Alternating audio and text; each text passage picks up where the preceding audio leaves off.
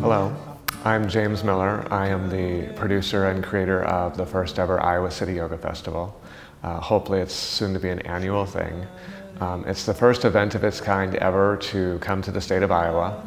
We're going to be hosting internationally celebrated yoga teachers and drawing people from not just Iowa City, but all over the country to come together and uh, celebrate uh, the practice of yoga.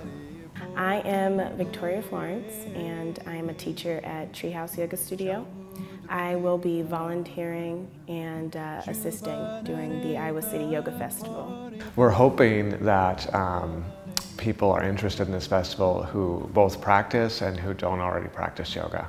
Um, yoga has the ability to change not just your physical body, but in some ways also transform your life. It's as simple as when you feel really good, um, you act differently as a result.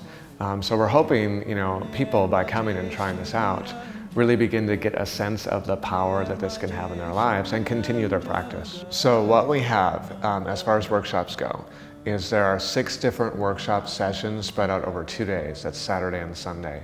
And each workshop session, you essentially have seven different choices to select from. And it's just a very wide, diverse array of different offerings. So some are international teachers, some are actually local teachers are offering different things. We tried to do this to give everybody access to the festival, from very beginners to very advanced yoga students. Um, we have things like arm balancing workshops, and then we also have things like gentle shoulder openers. We have very esoteric subjects and um, very accessible subjects. We try to offer everything we can. It makes me extremely excited, first off, because I've heard of all the big names that we have, all of the um, yoga teachers that we have. The workshops are phenomenal. So one of the workshops that I'm extremely excited about is uh, Hemalayaa Behl, and I'm extremely, extremely obsessed with Bollywood.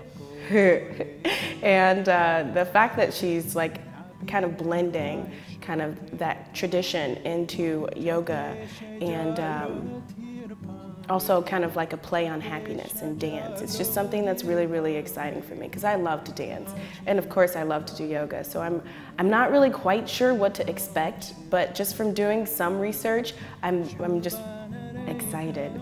Like, I say that word a lot right now, but like excitement is just kind of like all I have. I'm just really, really looking forward to taking one of her workshops. Okay, one of the presenters that I'm most excited about is somebody named Sadie Nardini.